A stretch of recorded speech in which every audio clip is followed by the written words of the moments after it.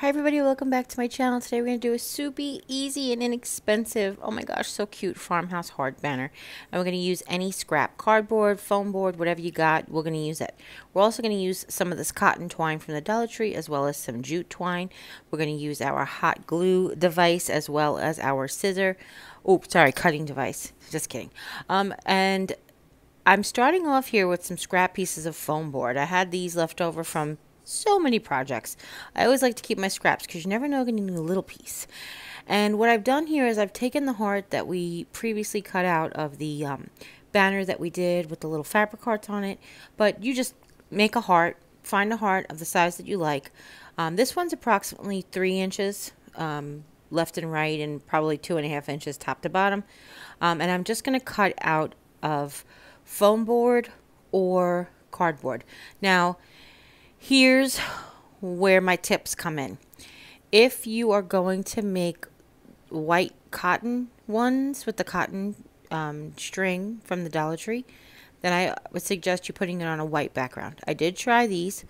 Um, I did try putting jute on the white background. I also tried putting the white on cardboard for you guys. And you definitely have to use way more string to cover up every tiny little hole that shows up um, with the opposing color behind it.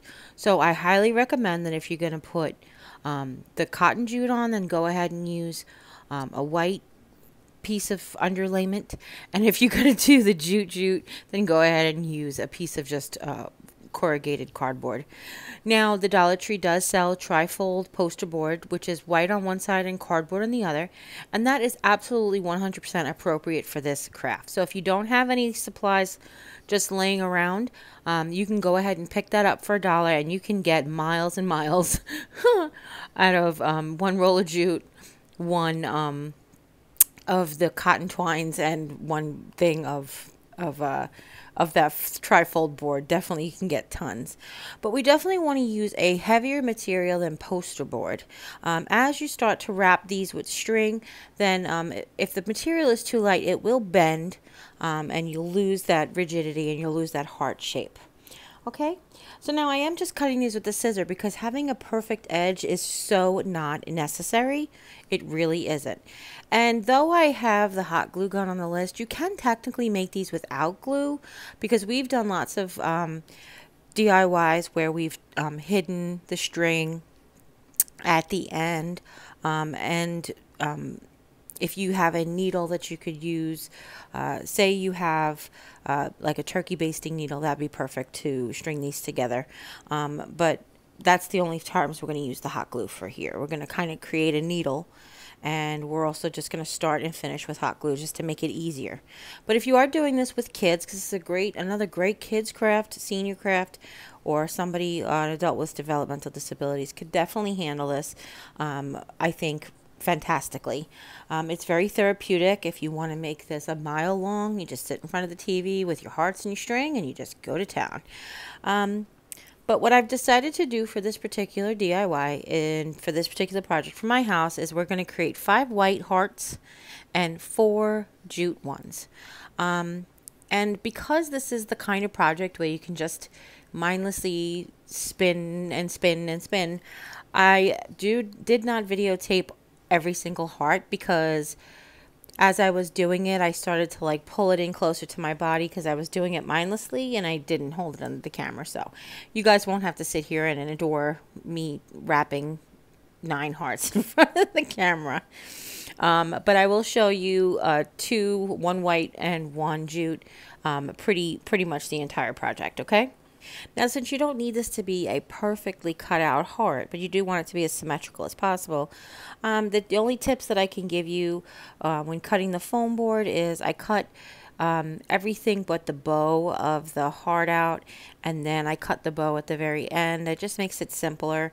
Um, you don't have to worry about bending. You want to try not to bend the foam board or the cardboard if at all possible because it could create that same thing like with poster board, it could bend the heart and you would lose your heart shape. That's the only tips that I can give you right now. Um, and the same thing goes with the cardboard. So what I basically did was um, I cut the V portion of the bottom of the heart and then went around the top and I cut across both bows and then back down the other side. And then once I was done cutting out that shape, um, then I went ahead and I cut the like right side of the bow in towards the middle and then I cut the left side of the bow in towards the middle. Actually cutting like what would seem like backwards um, holding the scissors sort of backwards. Um, now this is just a box I received you know it's just a regular cardboard piece of scrap box. I cut the little flaps off to create four hearts and like I said this is a tiny piece. Um, I, I hope that you guys have some scraps around that you don't have to go and invest in um, the foam, the, the poster board, not poster board, the project board, excuse me, um, the trifold project board from the Dollar Tree. But if you have to, obviously it's not a lot of money, but I love to create projects with stuff that I have laying around. I really do. It's my favorite way to upcycle, recycle garbage. I hate to think that it's going in a landfill when you, you know, some places don't have recycling programs.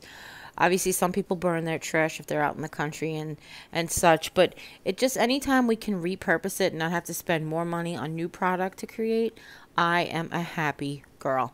And if you're an all natural person, you know, this is uh, unbleached cotton twine. I believe it's unbleached cotton twine, it says. And of course, the jute twine. They're both naturally occurring products in the world.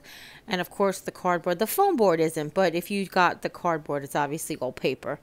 Now, if you just have cardboard laying around and you want to do the white hearts, you can go ahead and glue on just like um, any kind of paper that's white. So, like printer paper or any any white um, craft paper that you have, you could just glue over um, the cardboard as well if you don't have any white project board underneath it, okay?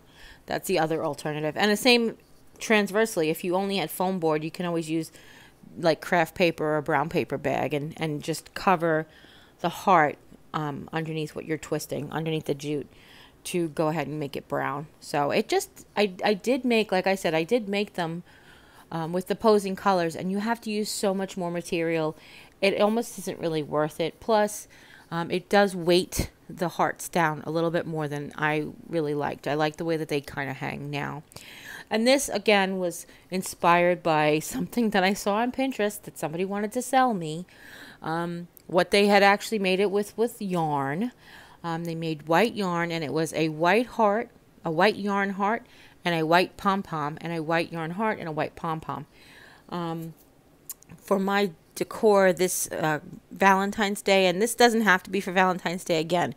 Weddings, love, anytime, anywhere. Hearts are always appropriate because the greatest of all of these is love. Don't forget. But um, what I'm going to decorate for my Valentine's Day decor this year on my mantle, I'm going to go ahead and I was inspired by some things that I saw that had uh, a string of pom poms with the garland underneath it. And I was like, well, I just make these hearts and I don't have to worry about um, adding the pom poms to this string. I'll just do two separate things. Okay. So now that we're wrapping around, it's pretty simple. We just glued the end down. You don't have to do that. You could actually cut a little slit in the cardboard to hold it like you were making a pom-pom. And the only tricks that I really have is, um, unless you want to use a lot more string, well, all right, in a, in an effort to save some string, we're going to glue down at the bottom little V um, to hold the string from sliding up. Otherwise, you'll have to use a lot more to get that little bottom V covered. And um, just in different angles, you want to go in different directions. You want to constantly move it around. Um, those are like the tips that I have. It's kind of like making a ball of yarn if you're a knitter or a crocheter and you get a skein and you have to make a ball yarn. Um, it's kind of along those lines where you just want to constantly move it and turn it um, and have it go in all different directions. And it does go super fast. I know that this is two times speed, but it is really, really a quick project. Um, and then what I decided to do is at the very end, I'm just uh, putting down a string of glue along the back side. What I did before I decided to end it is I looked at the both sides and saw which one I liked the best, and I was going to make that the front. So then I put a strip of glue down the back side, and I continued to wrap a couple of more rows um, to, over the glue so that it holds the end down. And then once that settles a little bit, you go ahead and cut it off. Okay? Now, I do, once again, I always apologize when I have terrible camera work. Um, there's a lot of times where my camera will slide and I don't even know it. And, or there's other times where I'll be just so into my project that I'll forget to hold it under the camera for you guys. So you're not going to see me wrap all nine of them. Plus, you don't want to. Trust me, it's boring. Um, it's a fun project to do because it's like easy, but it's also, you know, boring to watch other people do it. so, um, I've tried to edit it so that you can just see when I wrap and and and its completed projects in different directions. All right. And now, when it comes to this um, cotton string from uh, the cotton twine that's from the Dollar Tree, you can find that in the uh, workforce section. That's where you can find tools and stuff. And this particular um, jute string that we're using from the Dollar Tree was with the garden section, but they do have a three pack that's often by the tool section as well. It's uh, one, two natural colored and one green one. So at Christmas time, they came out with red jute, and if you were wanted to add red to a Valentine's Day decor, then you definitely could wrap this in red jute. That would be super cute. I would go ahead and then take whatever heart shape and then cover it with red um, paper or paint it red before I wrapped it, just to make it that much easier, okay? And like I said, it's the same thing. You just want to make sure that you cover around all the edges. Um, I don't really think that there's any tricks that I can necess- any more tricks I can necessarily teach you, but you kind of have to get a rhythm for it and see how your string is hanging on there and it will depend on what material you're using underneath it and how thick it is and yeah, yeah, you know, like just little things like that. You'll see as you start to build. But really my other trick is just to save some string is to um, glue the very bottom V. Um, just put a little glue down, and then I wrapped around a couple of like here. So I put a little glue, and then I put a couple of wraps, and I kind of go a little slower so that the glue has a chance to hold on. Um, and then I just continue to wrap over it. I'll go around another direction, and I'll go back towards the tip at the end. Um, and then you want it to get it nice and thick. So that's where you just put a little glue down, you put a couple of rows over it, and then uh, cut off the excess. All right. And then um, you're just going to repeat this like I said. So now, uh, like I said, I didn't have a needle. Um, it definitely could have been an option to glue your hearts together and then wrap them. It would be much more of a difficult process to do that than to actually create a needle. Um, I have these little tiny um, pieces of um, they were they they held pumpkins. Um, they're like picks, these little tiny wood skewer things um, that I have from the Dollar Tree, and I'm going to create a needle with them um, to to sew the thread that's going to connect them underneath it. Okay, but that is just uh, the option that I'm doing. If you have a long enough needle, you can probably do, um, say, a if you had a crochet hook, a real fine crochet hook, you could probably feed the crochet, crochet hook through um, all the strings and then hook onto the piece that you're pulling through. I mean, there's just probably other ways to sew the hearts together. I think the worst case scenario is if you had to just glue the string across the back, you absolutely could. The reason I was avoiding gluing them is because I like to adjust. I like to make my things adjustable. Um, you know, this year I have them on my fireplace and I want them on my fireplace, but next year I might want them over the doorway and I don't need them to be quite as long. So that's why I like to make all of my banners like adjustable. And Jim's always like, why does it have so much string on the other end? Because I might want to make it longer next year. Sue me. But um, so that's why I like to make them adjustable. But if you know exactly where you're going to hang this and exactly how long you need it, then you can go ahead and just glue the string across the back. Um, the only tip that I do have for the, where the string needs to go across in relation to the heart is it definitely needs to go uh, the top quarter or the top third down. Because any, if you tried to put it in the middle, it would definitely have a tendency to have the heart spin on you. Um, some hearts would be an upside down and backwards. Um, and if you just glue it across the top quarter or top third, then you won't have to worry about that. They'll just hang um, perfectly. Okay? So basically what I did was I took that piece of skewer or whatever you can use, that little piece of uh, piece of wood, and I wrapped, uh, put a little hot glue down on the bottom, and I wrapped the cotton twine around a few times. Now you could hang this on jute or cotton twine. It's totally entirely up to you. I just decided to go with the cotton twine. Um, but then what I did was I kind of created a needle. And once the glue was set up, I made sure that the string was down nice and tight. I used it to just slowly wiggle my way um, across the backside of of the hearts. You always want to make sure you go in left to right, left to right. If you're going to do left to right or right to left, whichever way you're going to go, just continue to go the same way. And again, one third to one quarter of the way down the top of the heart. Um, I got stuck on it once, and one time it broke and gave me a splinter, and I swore. Sorry, I'm glad that I do a voiceover because nobody wants to hear me swear because I got stabbed with a piece of wood. So be careful depending on what you use, of course. Uh, you might have to just be a little bit more careful.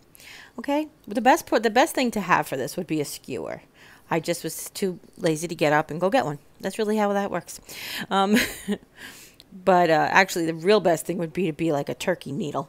Uh, that would be probably the perfect thing because that's long, thin, and has an actual hole on the end for this cotton twine. All right. And then I've decided to make mine white, natural, white, natural, or cotton jute, cotton jute, cotton jute. And that's just the way I prefer it to be. But honestly, as you watch me finish sewing these, I'm going to wrap it up because that's all there is to do. I've put a noose um, a noose hanger on both ends, which is basically when we just uh, fold the string over and then tie it around and create like a little noose. Not like a noose, a little um, a little hitch.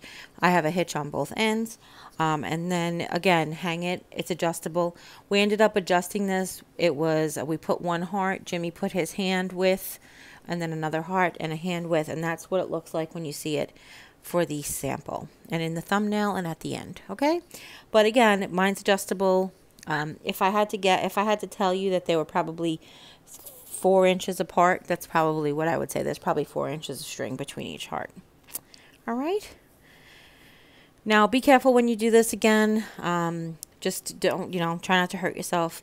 So this is probably my last um, heart-related object for the season. I might have one more tomorrow, actually.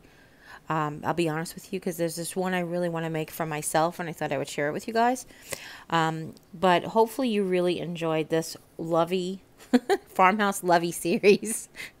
I'm trying not to call them Valentine's Day decors because a lot of people don't decorate for Valentine's Day, but really weddings, anniversaries, just love. Um, you know, honeymoons, anything that you can think of, love season. Um, like I said, these are always appropriate because the greatest of all of uh, the greatest of these is love, right? Depending on what version you're reading. Um, so as I wrap it up, I just wanted to say thank you to everybody for all of your love and support. We've reached 25,000 subscribers, and it just couldn't make me more happy or more proud to come into your homes every day and to teach you something new. Okay? So there you go that's it. Um, i hope you really enjoyed this video. If you do please give it a thumbs up. If you have any questions at all please leave them in the comments down below. Again i'm sorry for so much of it being off camera but I think you guys can get the gist of it. If you um, would like to share with friends and family, anybody you know might be interested in making um, one out of all hearts, hearts and pom-poms, all jute, all cotton, um, you do share, please. And if you haven't yet, click subscribe. And when you do, a little bell will pop up. When you ring that bell, YouTube will let you know whenever I upload a new video. And as always, you take care, God bless, and we'll see you next time. Bye.